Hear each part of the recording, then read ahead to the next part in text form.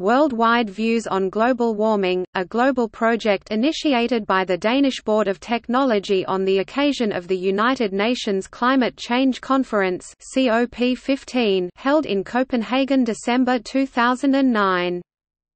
World Wide Views on Global Warming or just WW Views was an international citizens' involvement project based on methods developed by the Danish Board of Technology for the purpose of involving citizens in the political decision-making processes.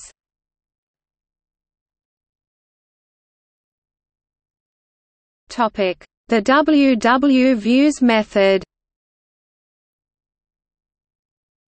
The World Wide Views project meetings were carried through on September 26, 2009 simultaneously in all the participating countries and on this day the citizens debated the same topics issued at the actual December 2009 United Nations Climate Change Conference.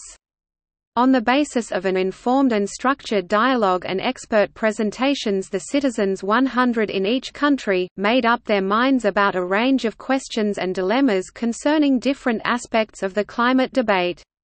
The results were uploaded throughout the day and are publicly available on the project's website see link below.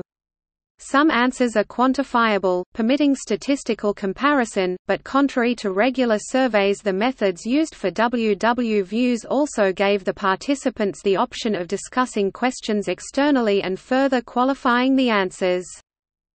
Worldwide views on global warming gave citizens across the globe the possibility of influencing political decisions in regard to Earth's climate, because the meetings presented citizens with the opportunity to express how far they were willing to let politicians go in the struggle to reduce CO2 emission.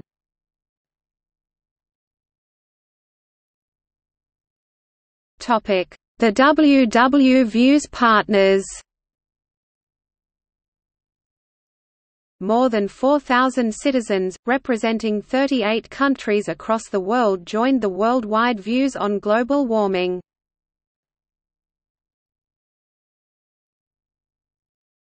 WW views on biodiversity